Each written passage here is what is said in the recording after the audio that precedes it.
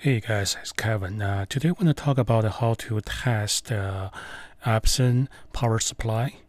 Uh, there are lots of people, their uh, uh, Epson cannot turn on, so they think it's the power supply. Actually, the Epson doesn't turn on, it could be the motherboard. So before you run to the street and get a new power supply, you might want to just test your old one and uh, sure the problem is the power supply. I have a two power supply here. Uh, on the left is WF3540, on the right is WF3640. Although they look similar, the 3540 on the left there's a ditch. So the 3640 will be too big to get inserted.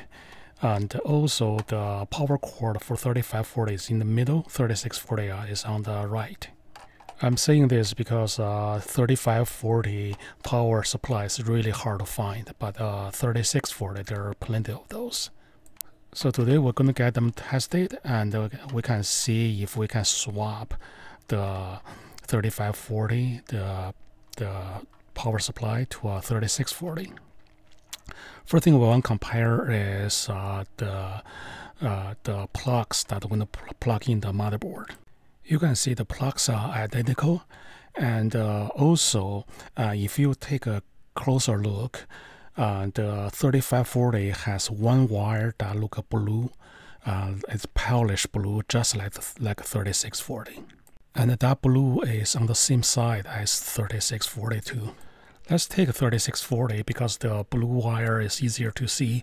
Um, so you can see uh, the blue side is on my left the 3540 uh, blue wire is just a little bit blue, but you still can tell it. Okay, let's do this. Blue to blue. Okay, so blue wire is the blue wire. And the, the middle wire, I'm going to use uh, green because that remind me earth or ground.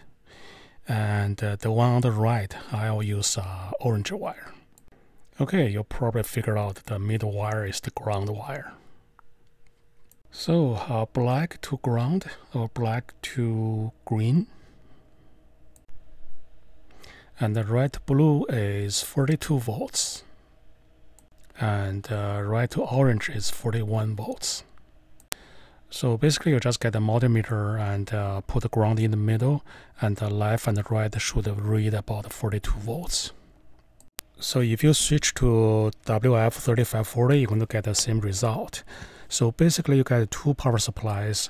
Uh, the output is the same, so actually you can swap them, except uh, you cannot fit the the, the 3640 into 3540 the, uh, the case. I mean, um, so you have to figure out how to uh, revise the case a little bit. Maybe uh, you need to move the power supply to the right and uh, just make sure it fits.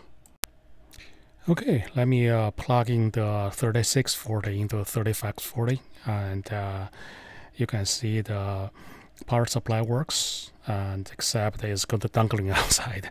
Uh, anyway, I hope you enjoyed this video. Visit us at www.bchtechnology.com or locally at Greensboro, North Carolina. Cheers.